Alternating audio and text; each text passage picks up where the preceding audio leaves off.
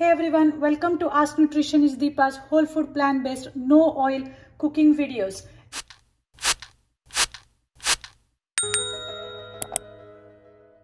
And today I'm going to give a big shout out to different kinds of nuts and seeds by making my all purpose nut and seed mix.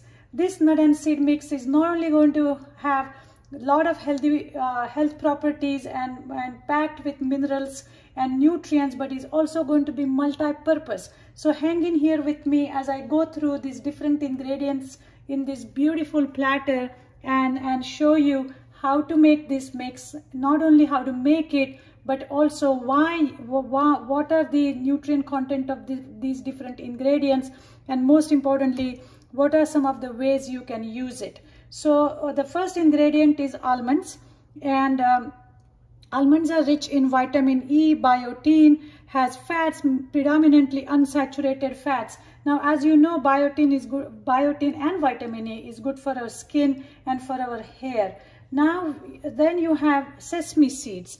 So sesames are unique in terms of their flavor. They have really nice nutty uh, flavor. It's commonly used in tahini. The reason that I like to use sesame seed is for its nutrient density because it has calcium uh, and other minerals such as phosphorus. It has some essential fat and uh, but for some reason if you're allergic to sesame seeds then replace it with sunflower seeds. Now then you have this coconut. I have unsweetened coconut flakes and coconut has medium chain triglycerides and fiber. So it's so much better to eat whole coconut or coconut flakes than, than having coconut milk. The coconut is not only going to be rich in nutrients, but is also going to provide you with that healthy fat and uh, as I mentioned, has a little bit of sweetness. Uh, and then we have our good old uh, pumpkin seeds which are shelled and pumpkin seeds are rich in manganese, vitamin K, zinc and phosphorus. All these minerals are really good for our digestive system. And then in the center, I have some poppy seeds. I have some black and white poppy seeds. Now poppy seeds are not commonly used uh, but they are very rich in again different kind of minerals specifically magnesium phosphorus selenium uh, healthy fats, calcium, and poppy seeds also have folate, which is really essential for our brain function. And if you are pregnant, then uh, for the development of the fetus and the neural tube, which is your spinal cord. So all in all, this uh, particular seed nut mixture is going to be nutrient dense.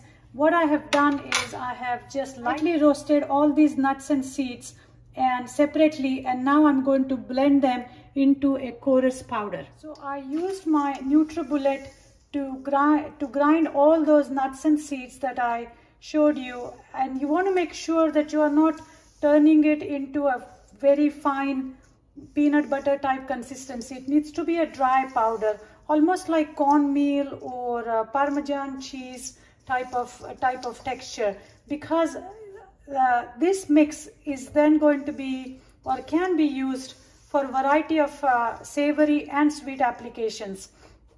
So because it's dry, as you can see, it can be used as a breading. If you are making some patties or, or veg vegetable cutlets, you can add it to gravies to, to make really nice creamy gravies. For example, I I'm in, I have used similar nut, nut and seed mix in my zucchini uh, stir fry vegetable, my papri shak vegetables. So check out those uh, videos uh, for those recipes. Uh, this can also be used or added to, to your soups to make creamy soups. Now, if you use it along with maybe some boiled potato and, and uh, you can make a very creamy dressing. You can add it to dates or any other dry fruit and blend it together to make like energy balls.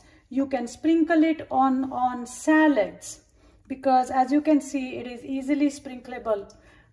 Uh, it can be easily sprinkled on salads or pasta or sweet potato, beets. Uh, you can mix it with little bit of nutritional yeast and sprinkle it on uh, pasta and sweet potatoes, so on and so forth, because it's going to give you that little bit of umami or cheesy flavor from, from the nutritional yeast, as well as the fat from the seeds and nuts is going to make it um, um, the flavor. Once you mix the nutritional yeast with these nuts and seeds uh, it's going to give you that really nice umami uh, fatty cheesy type of uh, flavor so this is my all-purpose nut and seed blend that you can use in variety of recipes for variety of sweet and savory application it's not only nutrient dense but it is also has multiple uses thank you again for watching Please send me your uh, questions. Please comment on the recipes. Let me know which recipes you would like to see and I will make sure to make it. Thank you and I'll see you next time.